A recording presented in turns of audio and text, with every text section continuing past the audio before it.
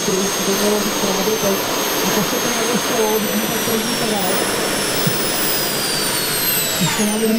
Už nám chybí jenom jeden jediný Paragán, který by měl vyskočit z toho brigadíra každou chvilkou a děje se tomu správný motor Praga Doris M208B. Dokonce je to jeden ze dvou letoschopných brigadírů s tímto motorem a je pilotovaný Milanem Sochorem.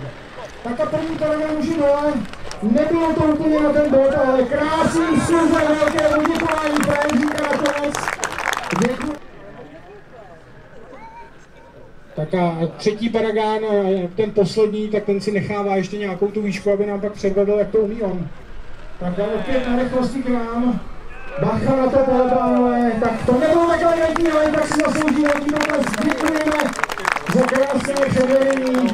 Se dohodli, kdo přistává dřív a kolik letí brigadír, protože brigadír je opravdu hned v závěsu, jak už jsem říkal, ten brigouš je jeden z té dvojice, který má ten originální motor Praga. Tak a ten náš doplňuje, tak to jsme ještě neměli, ale i tak s potleskem. Děkujeme všem třem protagonistům tohoto seskoku a můžeme se podívat na té brigadě, který v tuhle chvíli nelítává už tady na plochu Holešovského letiště a bude to opravdu každou chvíličkou.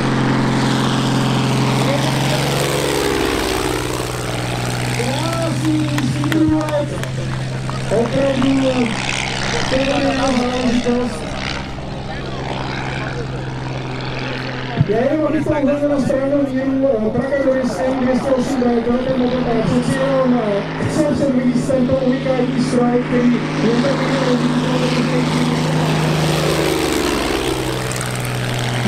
že ten brigadír je opravdu krásné obratné letadlo a Milan si tím může dovolit hodně, hodně. A opravdu v pár metrech do doby kružuje, jako by se nechtělo, tak klobouk dolů. Myslím si, že někteří modeláři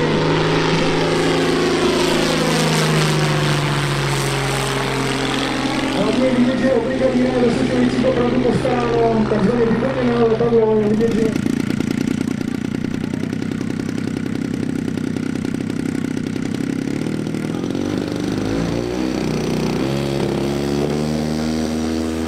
Hele, vytásek už je na startu a Piper se vznese do vzduchu.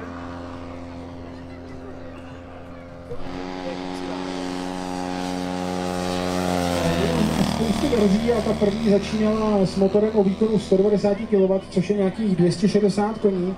Ten Piper Cherokee 6 Nissan první letu opravdu hodně myslím, můžete vidět, že je to klasické takové to malé dopravní letadlo do té doby.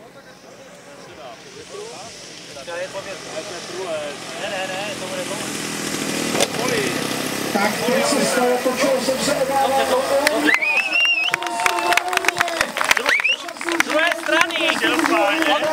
Otočil se větr. Otočil se větr.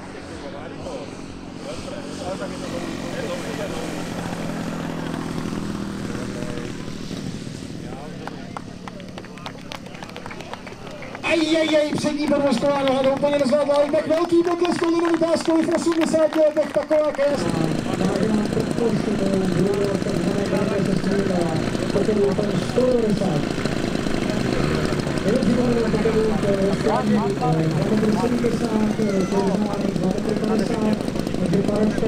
Mačkali jak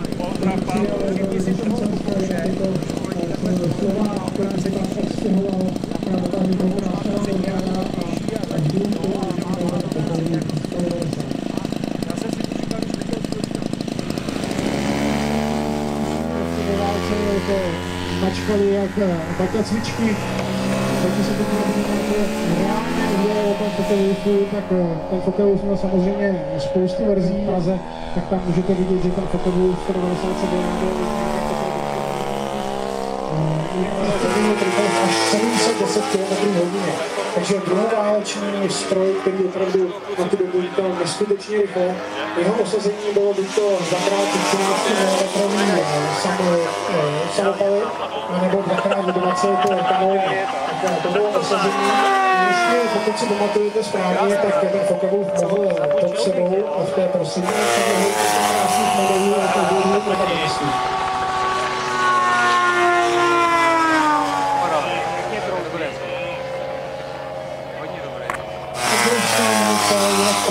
Bylo eh, šestkrát ten klasický M2 Browning eh, samopal a čtyřikrát M3. Jenom pro zajímavé, když mu řeknete, že chcete letět tímhle směrem, tak s vámi opravdu tam to se svíst. Ale pojďme zpátky na to, protože oba dva pánové už jsou zpátky zase zemi.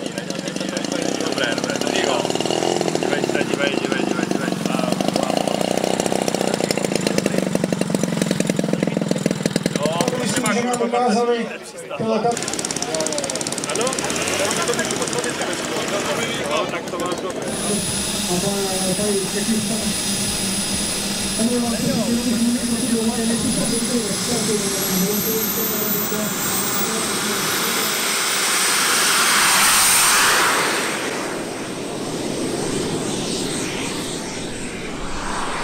Protože v té době jsem čtyři, ale tak si ještě dali progresivní něco dobré se, takže Tak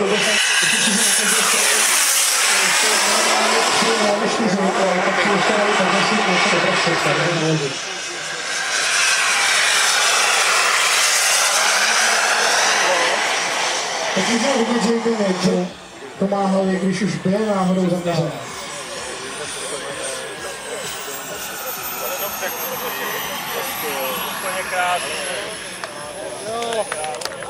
Tak a vítězkové, opravdu vítězkové přistání.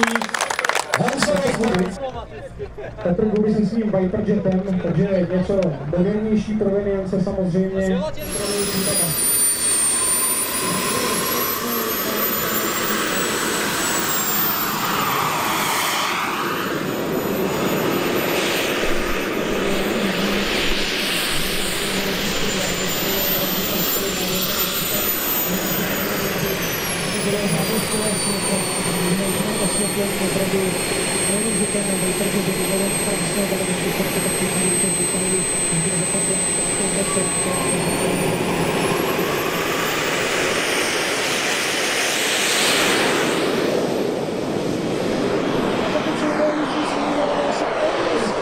Hasta 12 kilometre kaldı.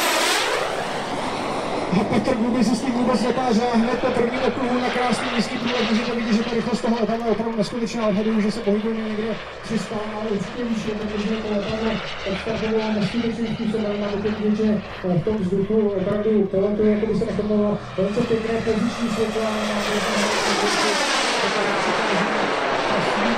akrobace, které jsme vám s Petrem už na začátku říkali. Velice pěkný, rozhodný, teď myslím si, že i rozhodčí na soutěži by měli radost, teď krásná zatáčka zatočená, zatáčka rychlosti při přistání a podobně, a tady je vidět, ten Majtek, že opravdu si nechal být neskutečně, a ono to jde na minimální rychlosti, slyšíme, že ta turbína běží na výběh, je to sklapové a brzdové klapky a teď zase ta nádherná zatáčka, ta precizní pilotáž tohoto stroje. Petr Guby prostě umí.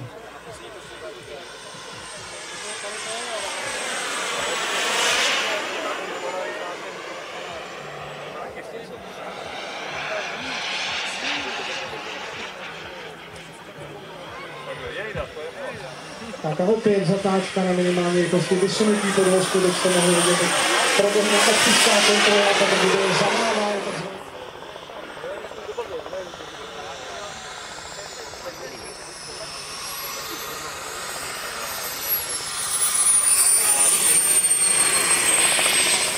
K tomu není co říct, kromě velikánského potlesku. Petr Dubej opravdu nasadil tu laťku těch jetů neskutečně vysoko. To byla mistrovská pilotáž, za kterou tleskám i já, protože tohle to, co jsem dlouho neviděl, tak je krásně. Jsme mohli tak vysoký, ale zároveň je tam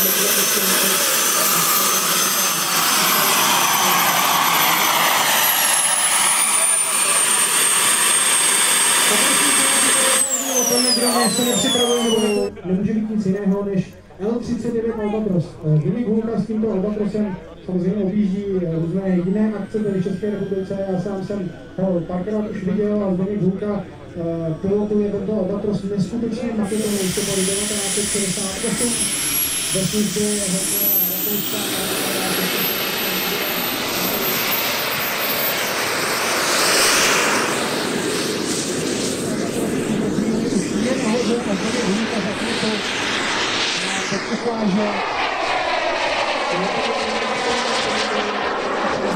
je a.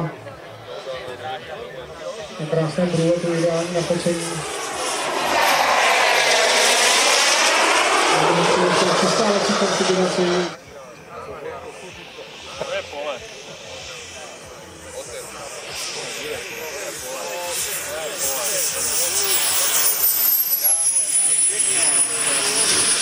Národné systémy Zdeněk Výbor Trpělsky. Já jsem nechtěl celou dobu rušit, samozřejmě jste si všimli, že celá ta ukázka proběhla s vysokým vidět, ale to bylo úplně nahoře. Není úplně nutné stát až v té dráze. Volně to tady postarat, aby to doma mohli konzulovat tam ještě. Protože jsou to vaši kolegové, tak mějme k ním nějaký respekt.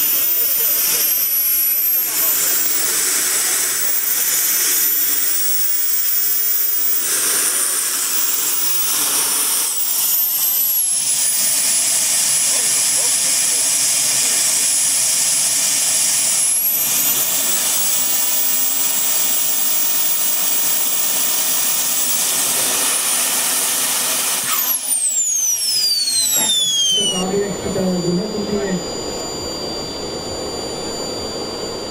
Světe, a to bylo úplně kamera, to tam byli teď právě zabírat. A to bylo to, že úplně nemá. To je to, to je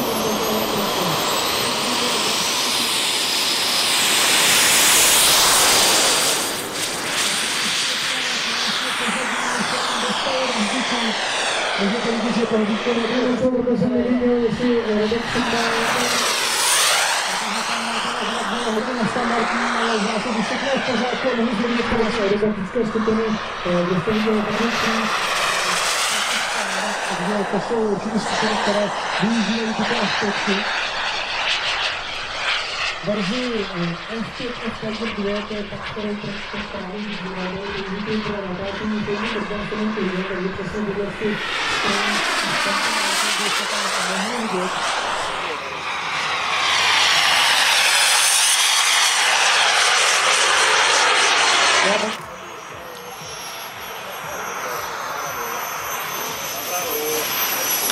Prakticky to taky zastavuje dušička velká pokypání a potlesky.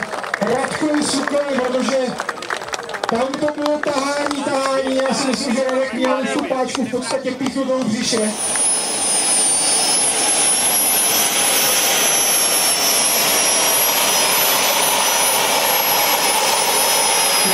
Že ty takové věci, to je nějaká vojna, to je nějaká zvláštních promocí, ale T16, Polikaratov 24 Pitrata.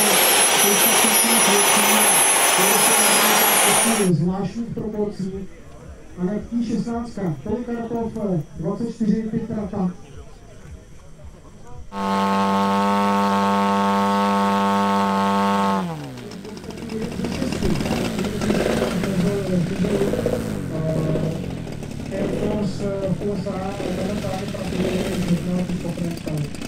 To jsou jenom informace o samotném provoze tohoto Warburgu,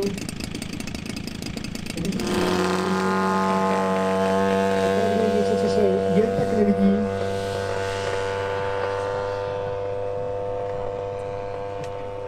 Takže od armády se také dá získat motory, v takovém tom modelářském náčiní. A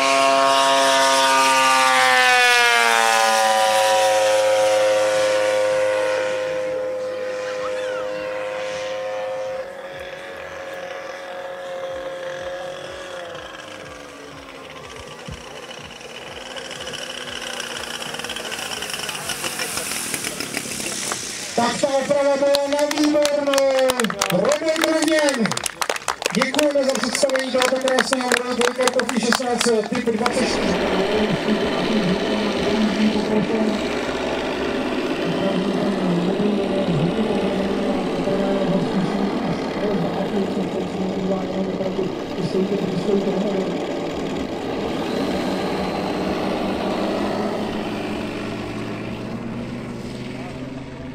Tak a Jiří Brant už je ve vzduchu.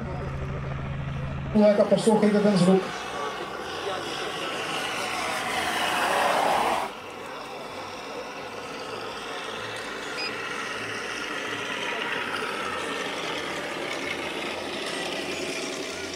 Krásné podrovnání. Jiří Brandt, čtvrtý na mistrovství světa maket první v tom týmu pro Českou republiku. Opravdu důkaz toho, že i maketa s elektrikou může být pěkná.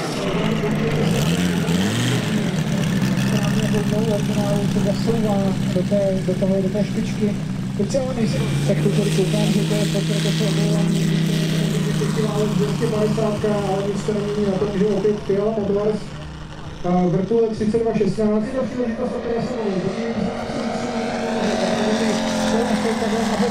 vedle toho krytu toho motoru, specifická záležitost u té F3F. A můžeme vidět, že výkonu dostatek ta 250 od Fialy opravdu uděluje velice vysokou rychlost pro to krásné malé maketě. Ano, budu je 2,8 metrů, takže to určitě.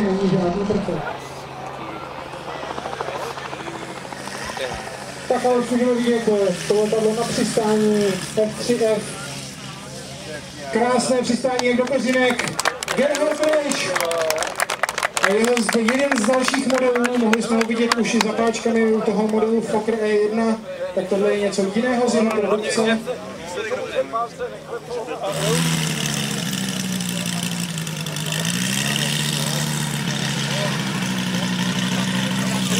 Správná. To je to úctyhodné rozpětí tohoto nádherného stroje. Jenom Gutmann nám přivezl ukázat opravdu z mého pohledu největší větrní RC rádiem řízení, který já jsem kdy viděl. Existuje ho opravdu jeden jediný kus. 15 metrů je úctyhodné rozpětí v podstatě pro normální reální větroň, ale tento větroň v reálné předloze se dostává někam ke 30 metrů. Takže je to tu první vlečnou, která je na elektriku. Dneska se samozřejmě už normálně mohli vidět, ale teď tenhle ten obrovský stroj vyvleká obyčejně jako Daniel Nagel se svým elektrickým speciálem.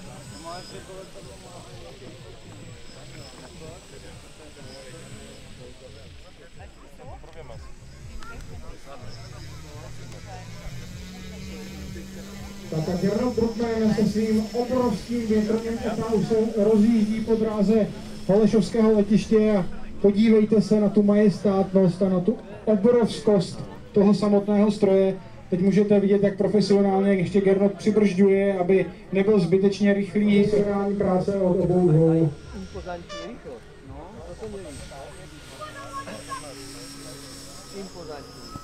Klobouk A jakmile to vysvětlíte, tak obrovský pokles, protože Tohle, to, co tady pánové předvádí, tak to je vrcholnost maketovosti a vlekání v České republice. Tohle jste opravdu určitě nikde jinde neviděli a nikde jinde jen tak neuvidíte. To není ještě ten pravý větrňářské potopení nad letiště. Teď můžete vidět krásně tu vlečnou na minimálce. Daniel Nagel se s tím opravdu v úzovkách mazlí, ukazuje obratnost tohoto stroje. Výjimečnost toho je určitě v té elektrickém pohonu kdy můžete vidět, že to funguje na výbornou. Zároveň ETA v tuhle chvíli tady vykružuje a ukazuje, jak dokáže držet neskutečně energii. Opravdu tam to pokračuje pořád, pořád. Jenom Bruckmann ukazuje, že je opravdu paráda podání obou dvou, je že si to užívají. Teď to je ten správný vytrňářský nálet a průlet. Vidíte, co dělají ty křídla, opravdu ten prohyb je neskutečný, na koncích je to minimálně o metr, ne více.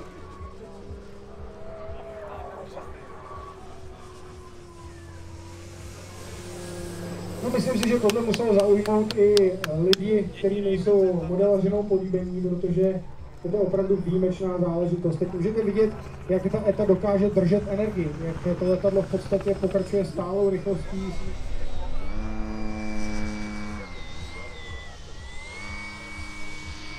Daniel Nágla na zemi.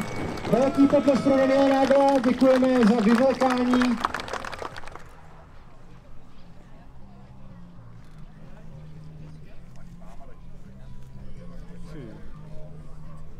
Taká nádhera v přímém přenosu. Gernot Bruckman, vysunuté brzdy, krásná plochá zatáčka, připraven na přistání. A teď už nic nebrání, aby ta nádherná 15-metrová eta dosedla na Holešovské letiště, které tohle ještě nezažilo. Obrovský potles! Gerard Brookman a Daniel Nagel. Velké díky, pánové, protože jste předvedli něco, co podle mě tady nikdo jen tak neviděl. Mrkněte se na to ještě na... Zasloužený potlesk, opravdu děkujeme Gernotovi za to, že předvedl takovouhle krásnou show a takovýhle hlavně krásný stroj, protože opravdu něco hodně výjimečného. Teď poprosím pozor tady, aby jsme dokázali ten tu etu do správně pamatuju z minulých show, tak byste měli vidět opravdu akrobaci toho Foxe.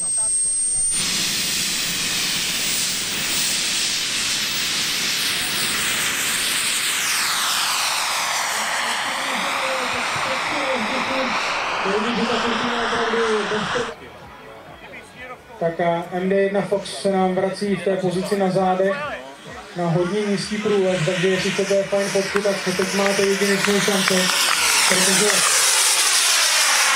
tohle bylo opravdu, co se týče tak já když jsem koukám do toho zhory toho volného vítání, tak tady vidíme velkou rozmanitost, vidím tady pajpera, to bude zřejmě pěkné volné povítání, pak tu vidím opět toho Bela 206 Ranger, takže další vrtulník, pak tu vidím Jirku Jeroníka s Ultimatem, takže i tam se můžeme dočkat určitě nějaké show, i když to bude povolnější než s tím SU-29, protože Jirka Jeronímek má to SU-29 vyloženě jako show letadlo, ten Ultimate je tak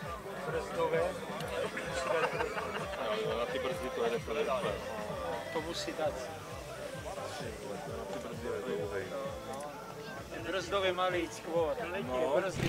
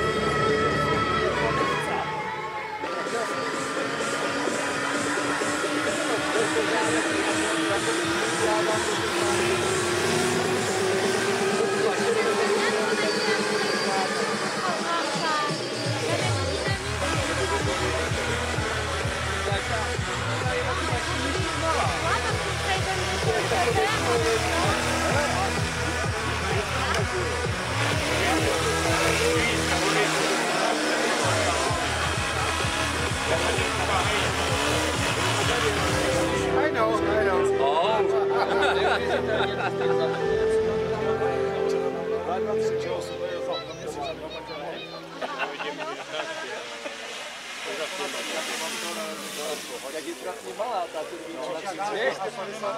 však jo, nemá odpor, ale jak, jak, jak ten výkon té turbíny je úžasný, jak je malá.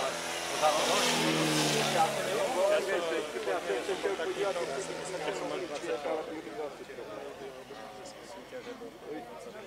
No, že bychom se, že bychom se asi neotočili, že bychom se asi neotočili, nějak.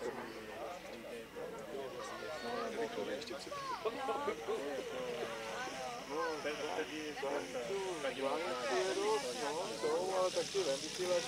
Teda starneme, tak stávame niečo. Pripravuje sa niečo, čo sedí na mojej rozdíle. treba sa prestupom bić.